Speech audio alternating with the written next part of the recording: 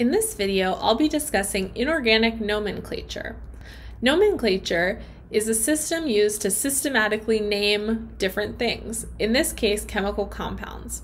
It's very important that we have a systematic way to name chemical compounds so that we can all be speaking the same language when we refer to different chemicals. Our objective today is to write formulas and names for inorganic compounds. In a future video, I'll be discussing the difference between inorganic compounds and organic compounds. What you need to know for now is that organic compounds contain hydrogen and carbon together, whereas inorganic compounds don't. Inorganic compounds can be classified as molecular, containing only nonmetals, and ionic, containing metals and nonmetals. Let's start with molecular compounds. We use the naming convention shown at the bottom of this arrow to name molecular compounds. We'll be focusing on binary molecular compounds, which have only two types of nonmetals. We'll start with the prefix of the first element, followed by its name, and then the prefix of the second element, followed by the base name of that second element and the suffix IDE or IDE. We only will use the prefix of the first element if there's more than one of that element in the compound. I'll show you what I mean. This formula NO, the first element is nitrogen. There's only one nitrogen because of the implied subscript 1, and therefore we just name it by following the first element, nitrogen. Now we use the prefix for the second element. So how many oxygens are in this compound? There's one. Therefore, we use the prefix mon, nitrogen monoxide. You'll notice that we only use one O here um, because the name of the element starts with O and the end of the prefix starts with O. You'll get more familiar with these conventions as you practice. NO2, how many nitrogens? There's one. Because it shows up first, we don't use the prefix. How many oxygens? There's two. Therefore, we use the prefix di. NO2, nitrogen dioxide. N2O3, how many nitrogens? There are two. Therefore, in this case, we do need to use that first prefix because there's greater than one nitrogen. We'll start off with dinitrogen, and then for the three oxygens, trioxide. CF4, again, one carbon, we don't need to use a prefix. Four fluorines, tetrachloride, carbon tetrachloride. Two nitrogens, five oxygens. Again, we need to use prefixes for both because there's greater than one in the first.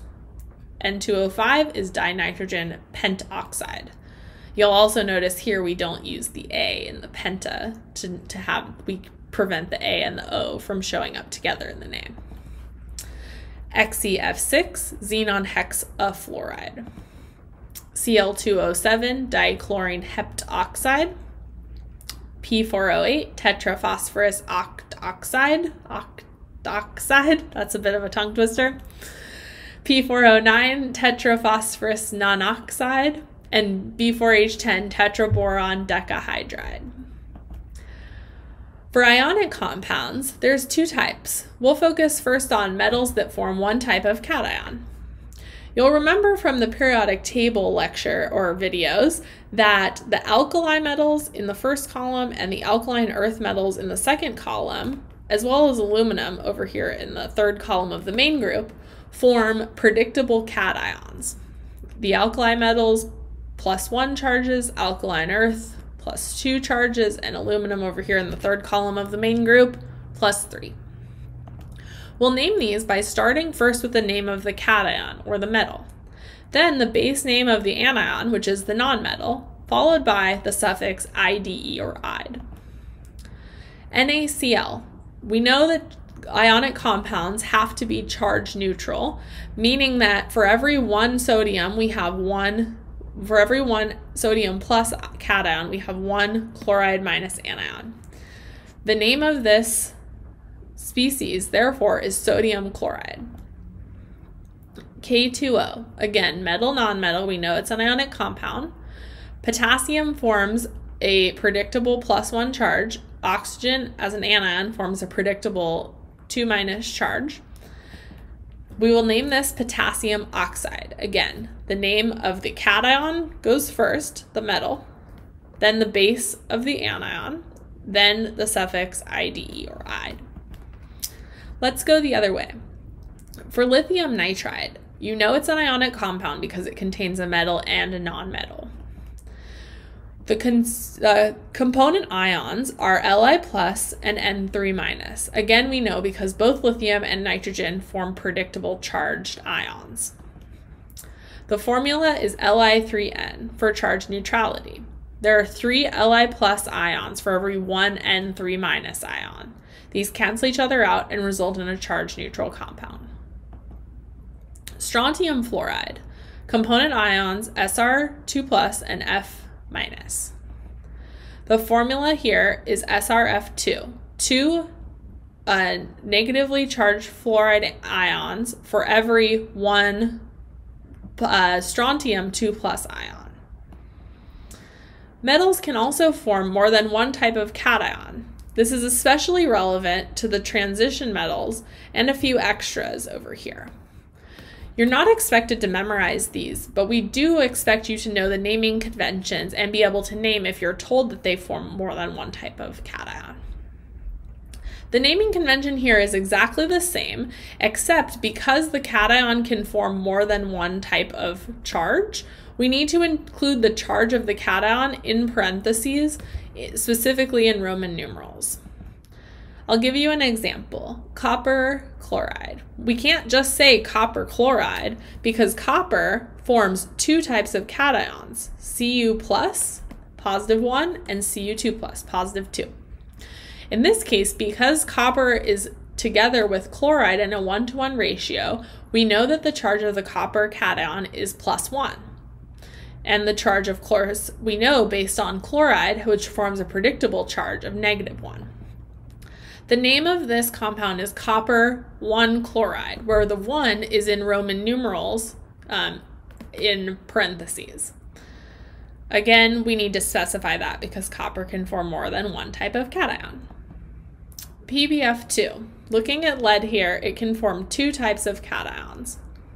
Which type is in this compound? Well, fluoride forms a negative anion, and there are two of those. So to balance, we must have a positive 2 lead ion, Pb2 plus and F minus. The name of this compound is therefore lead 2 fluoride. Again, the 2 corresponds to the 2 plus charge of the lead, just like the 1 corresponded to the 1 plus charge of the copper here. Let's go the other way, iron 3 oxide. Well, the iron 3 clues us in that we're dealing with an iron with a 3 plus charge. And oxide tells us our anion is oxygen. Therefore, our component ions are Fe3 plus and O2 minus. When we figure out the formula, we know that we need two iron ions for every three oxygen ions, again, to maintain charge neutrality. This is how we can go from the name to the formula for metals that form more than one type of cation. Polyatomic ions also need to be considered when thinking about ionic compounds.